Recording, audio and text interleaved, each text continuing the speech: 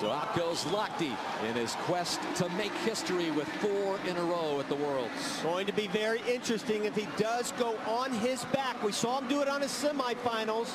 On his back, off the breast to free exchange. The rule states you must swim a quarter of each stroke on each stroke. So fly back, breast and free. It's not a clear rule.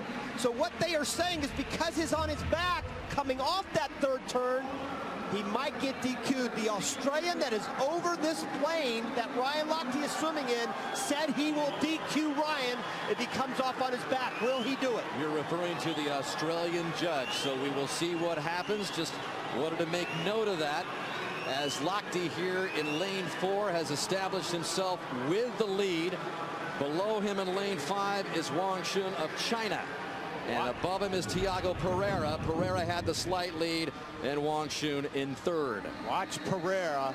He has a lot of experience, but Lochte had such a great breaststroke in the prelims.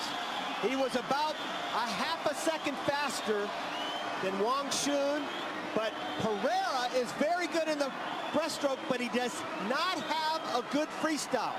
Lochte can beat Pereira freestyle. So you got to love this position for Lochte right now. Way ahead, Pereira and Lochte are. See what he does here, Dan. Does he go on his back? There's the judge. It's hard to tell from that angle. He goes so deep, I couldn't tell.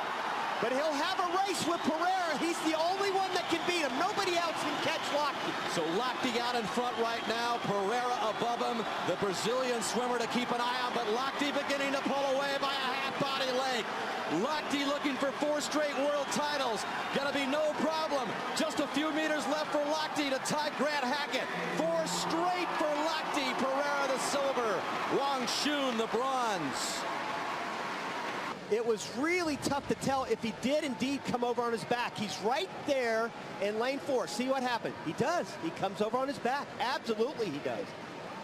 Absolutely. And here's the official. The Australian official is right over the lane. She didn't do it.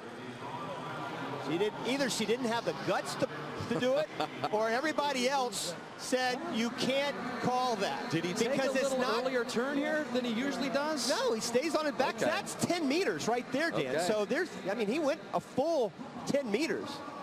Makes history. Four straight titles in the 200 IM.